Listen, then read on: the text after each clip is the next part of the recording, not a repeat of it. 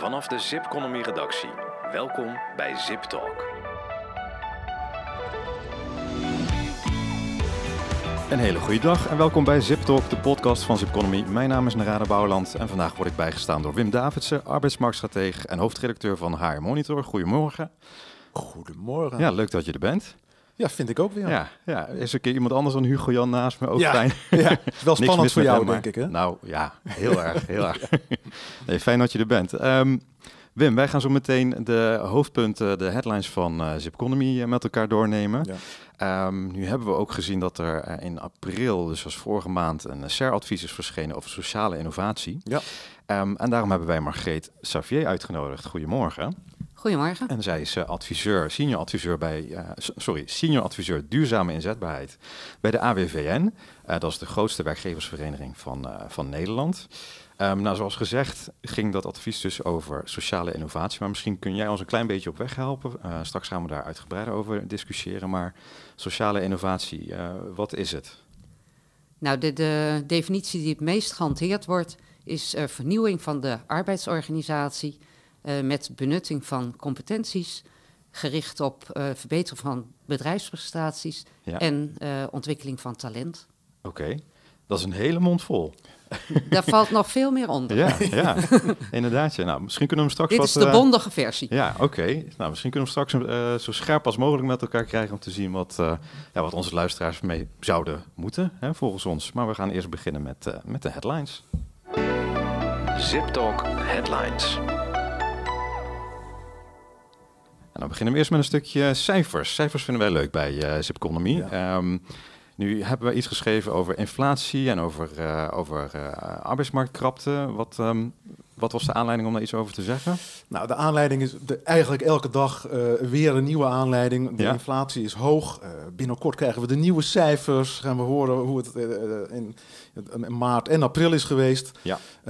Tegelijkertijd hebben we een superkrappe arbeidsmarkt. Die blijft maar op 3,5% werkloosheid zitten. Mhm. En op een gegeven moment is het natuurlijk een heel duidelijk optelsommetje. Krapte en inflatie. Mensen willen een hoger salaris. Ja, Nou, dan hebben we bijvoorbeeld de AWVN-monitor. Die laat elke maand, nou eigenlijk elke dag zien wat er gebeurt met de CAO-onderhandelingen. Mhm. En in maart was de gemiddelde eh, eh, loonstijging in de afgesloten CAO's in de maand maart plus 7,5%. En april ook 7,5%. Dus eigenlijk heel logisch. Is wel heel veel extra, hè? plus 7,5%. Mhm. En toen zag ik een berichtje in ESB, Economisch-Statistische Berichten, dat tot en met vorig jaar de winstgevendheid van beursgenoteerde bedrijven in Nederland gewoon niet onder druk stond. ja, Die blijft gewoon eh, heel hard doorgroeien, heel, heel veel harder dan de gemiddelde lonen van die werkgevers. ja. En zelfs de bestuurders bleven heel veel meer verdienen Ja, ja, ja. eh, eh, dan het jaar daarvoor. En veel meer dan hun eigen werknemers. Ja. Nou, en, en als je dat dan leest, dan denk je bij jezelf, maar dit kan niet blijven duren, want hè, Ja. allerlei plussen, er moet ook ergens een minnetje eh, komen. Dus ik ben ontzettend benieuwd wat dit gaat betekenen voor 2023, voor het lopende jaar. Eh, als je dan de CAO-stijgingen ziet, Ja. ja, wat, dat gaat, wat gaat dit dan doen met de winstgevendheid van onze beursgenoteerde bedrijven? Of de, de, de inkomsten van de bestuurders van die beursgenoteerde bedrijven? Ja. Of misschien gaan ze het oplossen via arbeidsproductiviteitsverbetering. Nou, daar gaan we het Ja. straks ook over hebben, denk ik. Oké, Het wordt echt heel erg spannend wat mij betreft. interessant. Oké, gaan we in de gaten houden. Ja.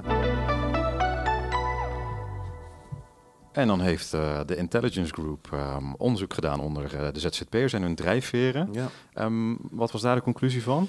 ja, wat mij betreft een schitterende conclusie. Ja, Bijna niemand die ZZP'er is wil terug naar een, naar een, een vast contract. ja, Ja, dat gaat over eh, een beetje afhankelijk van de groep die je meet, eh, eh, praktisch opgeleid of theoretisch opgeleid, maar hooguit zo'n 10% Ja. die nu ZZP't, die zegt, nou, ik zie dit eigenlijk niet zitten, ik wil een vast contract. ja. Dat is Ja. toch een heel andere teneur dan de, de politieke trommel eh, slaat. Hè? Die zegt, ja, ZZP, daar moeten we mee stoppen. Dat moet aangepakt worden. Er zijn er is schijnzelfstandigheid. Ja. Maar de meeste ZZP'ers zeggen, eh, ik vind het wel Prima fijn zo. Ja, ja. En, en, en één- op de tien zegt, oké, als ik dan een vast contract mag, kies ik wel voor dat vaste contract. Ja. Nee, wij willen gewoon autonomie. Wij willen eh, hier in Nederland, en dit gaat over 1,2 miljoen mannen en vrouwen die, eh, die ZZP'er zijn. Ja. En eh, hooguit 10% zegt dus, mm, oké, ik- dan toch maar de zekerheid van het vaste Ja. contract. Maar herken jij dit sentiment waar de intelligence group nu mee komt? Ook eh, uit andere onderzoeken? Of, Absoluut, Ja. absoluut. Ehm, eh, er wordt natuurlijk al heel lang gesproken over schijnzelfstandigheid en dan krijgt een enorme PR. ja. Maar er wordt veel te weinig gesproken over waarom ZZP'ers ZZP'er willen blijven. Ja. En ook in de zorgsector ken ik een aantal eh, van dit soort onderzoeken. Waarom zijn die mensen, hebben die hun vaste contract opgezegd en zijn ze gaan ZZP'en? Ja. Dat komt bijna altijd uit als eerste antwoord. Dan denken ze, oh, dan, die kunnen ze, dan kunnen ze meer verdienen. Maar dat is nooit het eerste wat die mensen noemen. Die noemen autonomie. Ja. Ik vlucht voor de, voor, de, voor de regeldruk. Ik wil mijn eigen regelruimte hebben. Ik ben professional en ik ben geen administratief medewerker. Ja. En dat is wat ZZP'ers heel fijn vinden. Hun, hun, hun vak uitoefenen en niet te veel belemmeringen door bureaucratie, werkgeverschap en weet ik wat. Oké.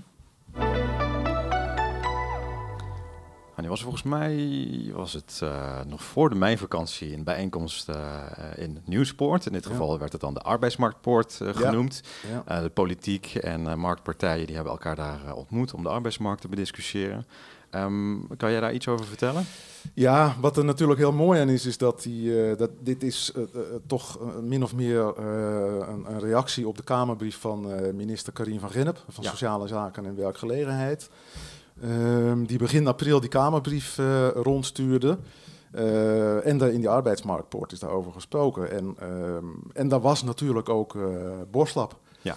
En die heeft drie jaar geleden, ruim drie jaar geleden, zijn eigen advies uitgebracht. Mhm. waarin hij van alles en nog wat heeft geroepen op basis van een enorme analyse. Eh, vast minder vast, flex minder flex. eh, met allerlei spelregels, waar hij ook vanaf het eerste moment heeft gezegd: niet gaan cherrypicken. Ja. Dit is een integraal verhaal, moet je integraal overnemen. Hij is eigenlijk best wel goed te spreken over die brief van eh, eh, begin april van Oké. eh, Karim van Gerp. Ja. Maar hij mist ook een aantal dingen. En het allerergste volgens mij wat hij mist, is dat er zo weinig nadruk op opleiden, leven lang ontwikkelen eh, wordt gelegd. Ja. Ehm, en, en daar was hij echt niet heel erg over te spreken. En dat snap ik ook heel erg goed, want het is een heel belangrijk onderdeel. En waarom zou je dat niet integreren in zo'n belangrijk, Ja. eh, belangrijke Kamerbrief? Sterker nog, die sessie is nog niet geweest. Ja. Of het stapbudget wordt ja, inderdaad, gestopt. Ja. Hè? Dat gaat in, dit jaar gaat dat nog lopen. Eh, maar in 2024 is het van de baan. Dus eigenlijk zou je willen, we moeten meer gaan opleiden, leven lang opleiden. Ja. Dat stapbudget is een heel mooi instrument om dat eh, ja, zeg maar heel, heel operationeel, heel makkelijk Ja. uit te voeren. Maar dat vanwege benodigde bezuinigingen trekken we terug. Ja. Nou, ik, dat ben ik met Borslap eens. Dit is geen sterk signaal. Ja, ja, dus vanuit een arbeidsmarktperspectief is dit jammer hè, dat het uh. Zeer, zeer stopt. jammer. Eh, de- de- Er verschijnen allerlei onderzoeken nu echt per uur zowat over de impact van, eh, van ChatGPT, kunstmatige intelligentie, die zelf content kan genereren. ja. Daar moet je mee leren omgaan, want wij als werkenden gaan niet verliezen van AI, maar we gaan wel verliezen van degene die werkt met AI. Dus je moet leren werken met kunstmatige intelligentie. Ja. Nou, En een van de dus- onderwerpen die je zou dus- kunnen bestuderen met je stapbudget. Ja, precies. Ja, Dus we moeten meer, we moeten omscholen, bijscholen, opscholen. Er is meer geld en meer tijd voor nodig. En dan gaan we naar de laatste. Ehm, want we hebben het ook graag over skills Zo. bij uh, Zipconomy. Zeker en terecht. Ehm, en dan zijn er wel meer mensen die, dat, eh, die het er graag over hebben. is toch een andere manier van kijken naar, eh, naar de mens. eh, verder kijken dan het cv. ja. Ehm, maar nu was er ook een signaal eh, dat dat niet de, de, de oplossing voor al onze problemen is. Ja, Hè? is Hoe kan dat nou? Ja. Ja, ehm, eh, eh, skills is natuurlijk een hele belangrijke, nou, totaal niet nieuwe, maar wel een heel belangrijke manier om te kijken naar het potentieel van mannen en vrouwen. Ja. Dat we niet alleen naar het cv kijken of, of, of nog beperkter, wat is jouw diploma? Ja. Maar dat we ook kijken naar de, de, de, de ook niet per se eh, zichtbare aanleg, zichtbare vaardigheden van mannen en vrouwen. Ja. Maar dat is natuurlijk ook niet het hele verhaal om skills of halve skills te kennen. Ja. Dat hebben we wel nodig voor bijvoorbeeld om eh, verder op te kunnen leiden. Ja. Maar mensen zijn ook psychologische wezens. Ze worden ook gedreven door iets, of geïrriteerd, of gefrustreerd, of enthousiast van iets. Ja. En eh, nu komt er een, is er net een onderzoek uitgekomen van Eurofond. Ja. Van eh, de Europese Unie onderzoeksbureau. En die stelt vast, skills, heel belangrijk. Hè? 2023 is door de Europese Unie uitgeroepen tot het jaar van de skills. Heel belangrijk, zegt dat eigen onderzoeksbureau. Maar het is de ene helft van het verhaal. De andere helft van het verhaal is, het gaat over job quality. Ja, Hoe, hoe, hoe kunnen mensen nou functioneren in jouw organisatie en hoe enthousiast worden ze daarvan, Ja. zodat ze ook productiever, collegialer, klantvriendelijker, innovatiever worden? Moeten we ook aan werken. Ik was er zo blij mee, want het is en en. ja. Moet je toch weer holistisch gaan kijken naar de mens. Jammer naar handig. We hadden het bijna Ja. technisch kunnen oplossen. Ja, nee, we gaan het holistisch doen. En, wa- en waar- waarom ik nog dubbel blij werd van dit onderzoek, is dat ja, job quality, daar gaan wij het hier ook over hebben. Sociale innovatie gaat onder andere over job quality. Hoe, hoe gaan we nou zo goed mogelijk om met nou ja, die hele lange zin die Margrethe net eh op wist te lepelen. Die hele... Nou, dankjewel voor deze eh, headlines van, eh, van Zipconomy. Ehm goede brug ook naar, eh, naar Margreet. En we zien dus dat, dat skills niet ehm, eh, de, de oplossing zijn voor alles, dat we holistischer moeten kijken. Ehm, nou, nu is het dus zo dat het kabinet heeft de SER de opdracht gegeven om een advies uit te brengen over sociale innovatie. Bekijk dat nog eens een keertje. Ehm, misschien wil jij ons even, heel, of even meenemen naar het begin hiervan. Hè? Dus die, eh, je hebt net een hele mooie definitie genoemd, maar kan, kan je het meer in je eigen woorden even vertellen, zodat eh, het misschien voor mij ook te begrijpen is wat het nou allemaal omvat? Nou, de- deze definitie, ik zal hem niet meer herhalen, maar Ja. die eh, komt al uit het middellange termijnadvies uit 2006 van de SER. Ja. Ehm, en hij gaat er inderdaad om niet alleen dat je talenten hebt, maar ze erkent, onderkent, ze benut, Ja. maar ook ontplooit. Dus, en dat vraagt heel veel van arbeidsorganisatie, van stijl van leiding geven, van autonomie, van samenwerken, cultuur, alles wat in een arbeidsorganisatie zit. Ja, ja. En wat is daar dan wezenlijk anders aan dan hoe we nu naar de mens kijken? Proberen we niet met die elementen dan eh, nu niet genoeg rekening te houden? Of moeten we anders kijken? Waar zit het hem nou in? Eh, dat het vaak korte termijn bekeken wordt. Ja, En sociale innovatie wordt zeker met het hernieuwde advies op de lange termijn gezet, ook verbonden aan de transities zoals energietransitie, digitalisering. Ja, Hoe kan sociale innovatie daaraan bijdragen om dat succesvol eh, met elkaar rond te breien? mhm. Ehm, ja, ik ben hem ja, ja. dat even. Want hoe, eh, hoe zie jij dat, Wim? Wat, waar ik zo blij van word, is dat eh, eh, sociale innovatie staat naast technologische innovatie. En wij weten uit de geschiedenis zeg maar, van de afgelopen twee eeuwen, sinds eh, ooit Ja. de eerste industriële revolutie kwam, je hebt niet genoeg aan alleen technologie. Ja. Je moet ook iets doen met een organisatie. Anders heb je, eh, je hebt wel een stoommachine, maar wie gaat ervoor zorgen dat dat ding in een fabriekshal functioneert? Ja. Daar heb je een organisatie voor nodig en die loopt vol met me- mannen en vrouwen die daar hun ding doen. Ja, Maar dan moet je je wel afvragen, hoe krijg ik ze zover? ja, Nou, we zien dus ook heel veel onderzoeken dat de technologie onderbenut wordt. ja, En dat wordt heel vaak geweten aan gebrek aan sociale innovatie. Dus mensen die veel te laat betrokken worden bij de technologische innovatie. En dan wordt er opeens een lasrobot neergezet of een ander apparaat, een tillift in de zorg. En dat staat op een gegeven moment ergens onbenut. Of eh, het wordt niet efficiënt eh, geprogrammeerd. ja, Omdat mensen niet meegenomen zijn hoe dat moet. ja. En mensen hebben dan ook angst voor zoiets. Gaat dat mijn baan verdringen?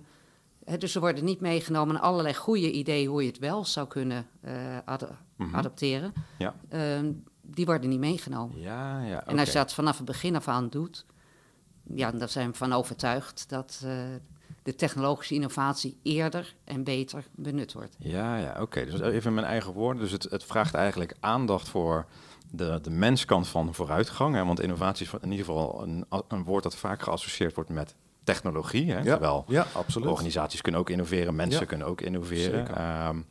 Dus is, is dat het? Hè? Dus als je naar de, eh, meer naar de menskant gaat kijken, van nou, we, gaan een, eh, we hebben een ander, eh, ander doel als organisatie, we hebben andere middelen als organisatie en we moeten kijken hoe we de mens hier ook duurzaam in kunnen verweven. Mag, zou je dan zeggen, nou, dan zit je ongeveer goed of mis ik nog een ingrediënt? Nou, dit is een van de aspecten bij technologische innovatie. Hè? Ja. Net zo goed als je denkt van we willen productvernieuwing doen of we willen een proces vernieuwen. dan heb je ook de vernieuwing van het werk Ja. nodig. Ja. De organisatie van arbeid. En daarmee de mensen, zowel qua inspraak en hoe richt je dat in. Ja, Hè, laat je, eh, or- ga, je, ga je alle uh, routinetaken automatiseren. Ja. Prima, maar kijk dan wel, wat moeten mensen dan die dat nu doen, wat kunnen zij daarna doen? Ja. Ehm, en het overblijvende werk, wordt dat ook echt verrijkt. Ja. Maar je kunt ook uh, automatiseren op een manier dat je de mens een robotje maakt. Ja. dat die compleet onder controle staat. En dan benut je dus niet die competenties. Ja, ja. En dan krijgen mensen weinig autonomie en dan gaan ze ook niet meer creatief doen. En als er iets kapot gaat, dan laten ze het maar hangen. Ja, ja het is, de, de, de mens is echt een ingewikkeld zoogdier. Ja. Als je die niet voor je weet te winnen, dan gaat hij misschien wel tegen je werken. De- Ja. En dat is echt, daar moet je echt mee oppassen. En ik las net een, een eh, vrij recent onderzoek van eh Sociaal Cultureel Planbureau, geloof ik, waarin ze stellen dat er in deze eeuw is er eigenlijk nog, eh, ondanks alle nieuwe technologie, geen klap eh, arbeidsproductiviteit eh, toegevoegd aan wat we al hadden. Ja. We zijn gewoon niet erin geslaagd om die technologische innovatie om te zetten in meer productiviteit. Ja, en dat is omdat we onze, onze menskant eh, eh, niet goed verweven met, met het technisch potentieel dat er wel in die innovaties zit. Ja, ja oké. Ja, en, en dat is sinds 2006, hè, toen is op basis van het CER-advies... is Nederlands Centrum Sociale Innovatie opgericht. Ja. Daar heb ik ook deel uit, van uitgemaakt. Mhm. Vanuit AWVN samen met FNV, CNV en nog een aantal eh, kennisinstituten. Ja. Nou, toen hebben we zes jaar lang daar behoorlijk aan gewerkt... en ook echt leuke successen wel behaald. Mhm. Ehm, maar het is ook in andere. eh, het is toen gestopt en we hadden toen het idee: het gaat wel verder in het nieuwe werken. Het gaat wel verder Ja. in duurzame inzetbaarheid. Ehm, maar de SER is ook doorgegaan om steeds sociale innovatie, ook in haar eh, verkenning van energietransitie, ook in haar verkenning van de technologie, Mhm. om steeds dat aspect naar voren te brengen. Ja. En er zijn ook ja, eh, de founding fathers destijds van het NCSI, Ja. die zijn er ook continu wel mee doorgegaan. Ja. En ook op EU-gebied. de de ESF-subsidie, het programma 2021 tot 2027, sociale innovatie, een eh, pregnante rol. Alleen hier in Nederland is het een beetje toen van de kaart geraakt.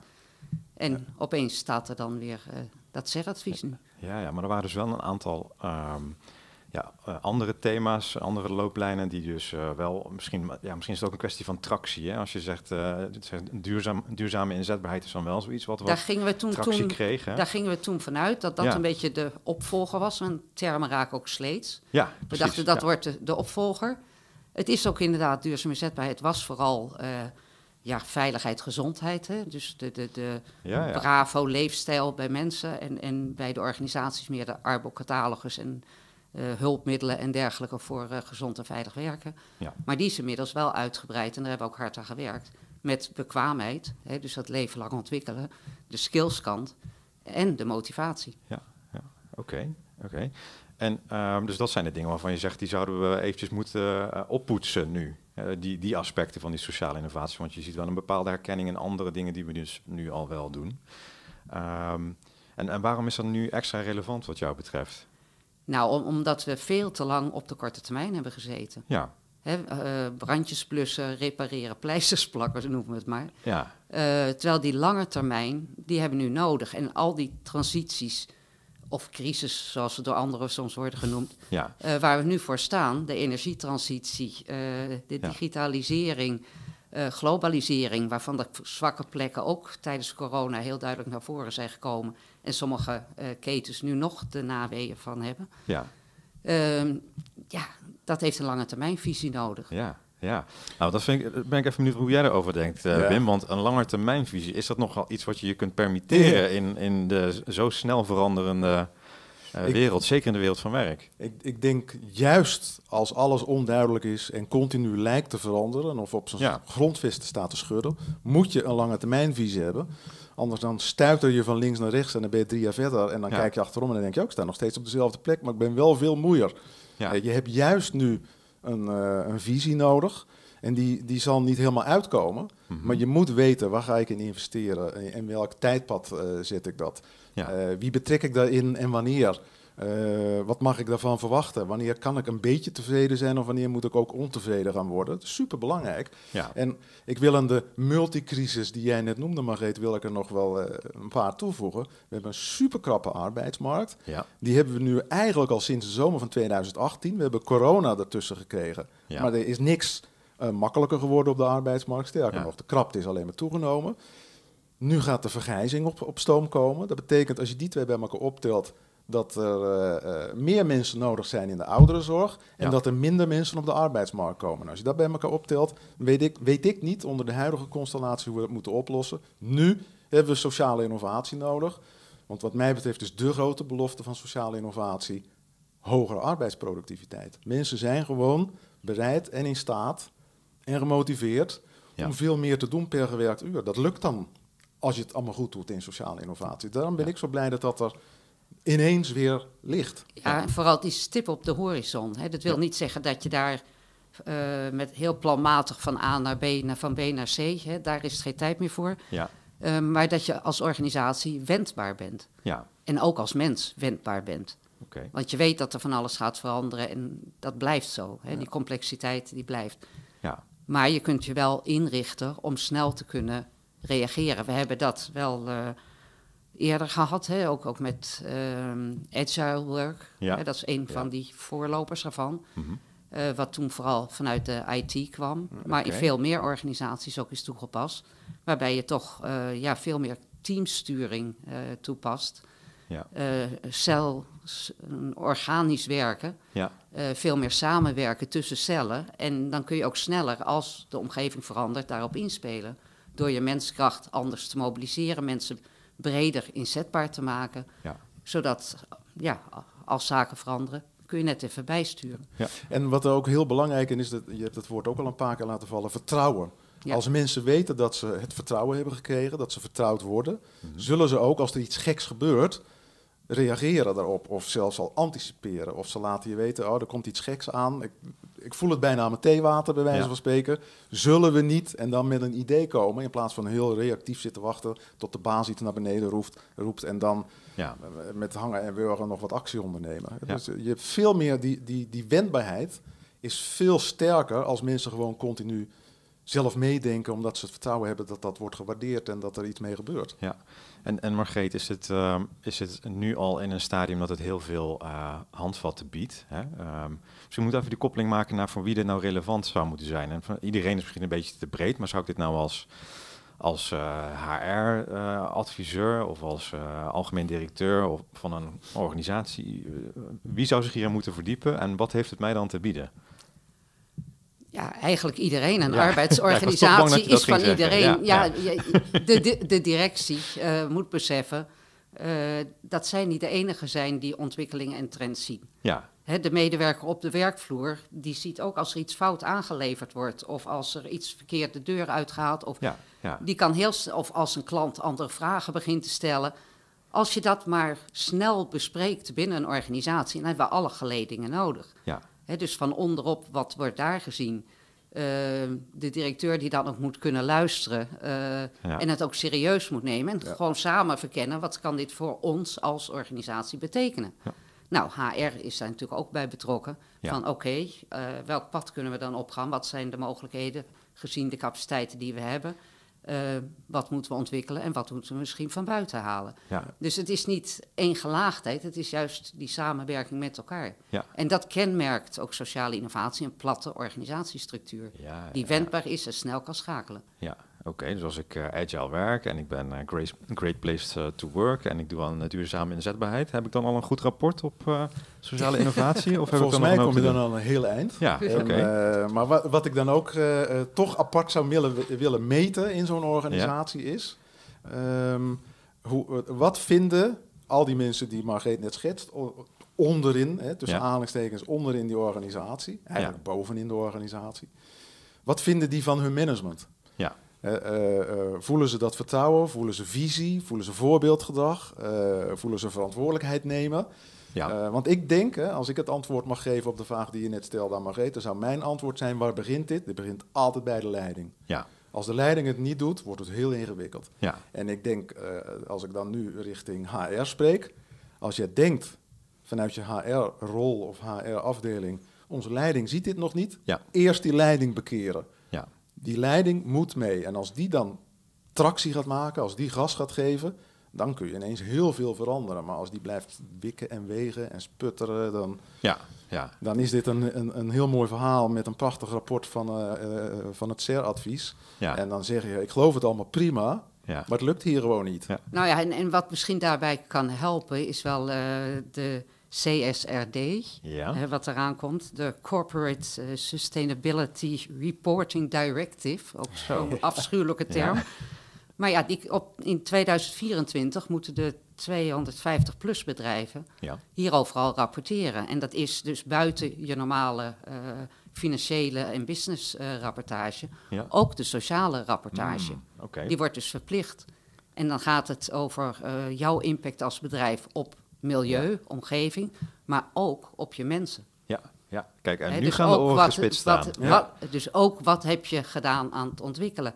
Wat heb je gedaan om ze mentaal gezond te houden? Ja, Eh, wat doe je om hun werkplezier eh, te vergroten? ja, ja. En de- daar worden ook harde cijfers voor verlangd, inclusief accountantscontrole. ja, ja, dus het komt ook, als, als het niet vanuit iemand zelf komt, komt het ook van buiten. Ja.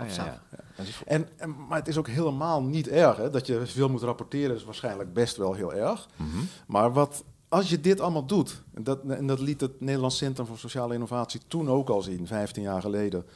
Als je dit allemaal doet, zijn je prestaties veel beter. Je Ja. innoveert beter, je klant is blijer, je medewerkers zijn veel gemotiveerder en productiever. Je, je hebt meer aantrekkingskracht op een krappe arbeidsmarkt, dat Ja. zullen we nu gaan merken. Het heeft zo ongelooflijk veel, veel voordelen om dit allemaal goed te doen. Nou, juist nu met die krappe arbeidsmarkt, dat binden en boeien ja, is zo belangrijk. Want als je niet de achterdeur sluit, dan Ja. blijf je mensen moeten zoeken. En dan blijf je eh, de werkdruk opvoeren binnen een organisatie. Want je Ja. hebt steeds minder mensen, er lopen er steeds meer weg. Het ziekteverhuis stijgt, nog minder mensen. Ja. En je draait met elkaar compleet gek, totdat je de productie moet beperken of je diensten Ja. eh, moet beperken, omdat je Ja, het gewoon niet meer ronddraait. En heb je, heb je concrete voorbeelden die je kunt noemen van, joh, dat is een, een, eh, een, een, een toepassingsmanier waar men heel succesvol mee is geweest? Heb je daar ideeën bij? Nou ja, ik, ik, eh, het is, bestaat al een hele tijd en het blijft ook bestaan. Dat is bijvoorbeeld buurtzorg hè, van, Ja. van eh, Jos de Blok. Die heeft inderdaad gezegd in de zorg, en dat was ook ja, 2008 denk ik ongeveer, Ja, eh, van dit gaat zo niet meer. Je moet de professionals de ruimte geven. ja, En hij heeft als een van de leidinggevenden die ruimte geboden. ja, ja. Hè, door, door wijkteams eh, samen te stellen waarin mensen zelf hun tijden doen, zelf hun werkzaamheden verdelen. En gewoon als team verantwoordelijk zijn voor hun cliënten. ja. En hij ontzorgt ze met de financiële eh, en de verzekeringstechnische en allemaal Ja, dat soort eh, ja, ja. zaken. Daar is gewoon centrale ondersteuning op. Ja. En dat, dat werkt hartstikke goed en mensen zijn tevreden. En En, en, die mensen zijn in En ook dienst. de klanten. Oké, Ja, precies, want dat werkt natuurlijk. Hè. Dat, werkt, eh, dat, dat, dat is gelinkt. Ja. En dit zijn mensen die zijn in dienst, maar je kan, de- dit soort voorbeelden heb je ook met partijen die met vooral ZZP'ers werken. Of mensen die als, als ZZP'er willen werken. Ja, de ondernemer, zoals hij niet meer genoemd wil worden, hij wil dienstverlener in de bouw. ja, Eh, Kesselaar, eh, dat is Ja. een bouw, was een bouwondernemer. Eh, en die wilde ook, ja, vooral ook met ZZP'ers werken. Maar wel op een manier als een team. Dat je met elkaar gezamenlijk productie neerzet. ja, En iedereen eh, is, is evenveel waard. De metselaar is evenveel waard als de planner. Hè, dus geen gelaagdheden, elk idee wordt besproken. En wat deze organisaties allemaal doen, dat is eigenlijk met het team, 's ochtends eerst bij elkaar. Jongens, wat hebben we vandaag te doen? Wat staat er op de lat? Wie gaat wat doen? ja, In ja, ja. kort overleg. En dan de ruimte geven. En als het afwijkt, dan rapporteer je even terug of overleg je met anderen. En dan stel je bij. Oké. Maar dat werkt fantastisch. Ja, en zijn er dingen waar, ehm, waar organisaties tegenaan lopen als ze hiermee eh, aan de slag gaan? Of zijn er, komen ze intern bezwaren tegen? Nou, vooral beeld. Ik denk vooral beeldvorming. Ja, Het, het is, en dat wantrouwen. Ja. Hè? Het, idee dat, dat je iemand continu moet controleren. Een bepaalde manier van controle moet er overal zijn, hè? dat is Ja. basic. Maar het schiet door eh, in veel gevallen. En ja, dan, dan voelen mensen zich niet meer vrij, niet serieus genomen. Ja, Eh, beeldvorming, dat eh, mensen eh, ja, eerst toestemming van de baas moeten hebben en het zelf niet kunnen. Ja. Het- heel veel beeldvorming. Probeer het eens in een kleine setting. Probeer het gewoon eens uit in een pilot. ja, Ik heb wel eens gehad dat ik mensen had voor een training functioneringsgesprekken. En was voor het eerst de hele organisatie zonder leiding. Ja. Nou, ze zaten continu op hun telefoontjes om te kijken of er niet helemaal Ja. de bocht uitvloog. Ja. En ze hebben toen geleerd, omdat ze die dag training hebben gehad, dat de zaak heel goed had gelopen, nog beter dan normaal. Ja, ja, Van, ja. oh, we kunnen dus vaker weg, we kunnen meer delegeren. Probeer het. Ja, Ja, heel precies. interessant. Ja. Terwijl we de afgelopen jaren, decennia misschien wel steeds meer een bureaucratische samenleving zijn geworden met meer regeltjes en procedures en Ja, ja, ja. protocollen. Ja. We zijn meer gaan micromanagen en we moeten eigenlijk meer gaan macromanagen vanuit dat, dat, Ja. die, die visie en die punt eh, eh, daar ergens op de horizon. Ja. En dan met vertrouwen, zeker weten, doe je het nooit 100%, maar met vertrouwen in, je, in de capaciteiten en de motieven van je mensen. En dan, hup, Ja, oké. Ik heb voor, allebei, eh, voor jullie allebei nog een afsluitende vraag. Misschien eerst met jou beginnen, Margreet. Ehm, ik, ik ben zelf ook wel visueel ingesteld, dus stel ik wil hier nou meer over weten. Is hier nou een plaatje van? Is hier een, een schrijver van waarvan ik, waar, nou ja, wat ik kan opzoeken eh, om even als een beeldvormend stuk te kunnen gebruiken? Oeh, één, één, één organogram of één plaatje vind ik lastig. Ja. Er is wel een hele kennisbank vol. Ah, kijk, ja. en Hoe dat is ik eh? Kennisbank Sociale Innovatie. Ja, Dat heeft eh Fietje Vaas van TNO nog meegenomen vanuit NCSI. Ja. En altijd geactualiseerd. ja. Dat is Kijk, zo iemand die is blijven doorwerken aan sociale innovatie. Ja. Voor iedereen nog steeds toegankelijk. Er staan heel veel voorbeelden op, thematisch. Ook Ja. buitenlandse voorbeelden, want UWIN, Workplace Innovation, is ook altijd actief gebleven. Ja, Dus er zijn, ja, daar, daar staat een hele hoop eh, in. Ja. En vergeet niet Frank Pot, hier in Nederland ook, die is continu aan de bel blijven rinkelen. ja, ja, ja. Ja. Dus er is al een flinke eh, body of knowledge op dit onderwerp waar je heel zo veel, gebruik van heel eh, veel. kunt maken. Ja, ja. En dan wordt het op een gegeven moment voor eh, organisaties boven de 250 medewerkers ook nog eens verplicht om in deze sferen iets te doen. Dus- 2024 en Ja. straks zo langzaam door naar het MKB in 2026. Ja. Oké, dus daar moeten we mee. En, en Wim, wat zou ik nog meer kunnen doen om hier een succes van te maken als organisatie?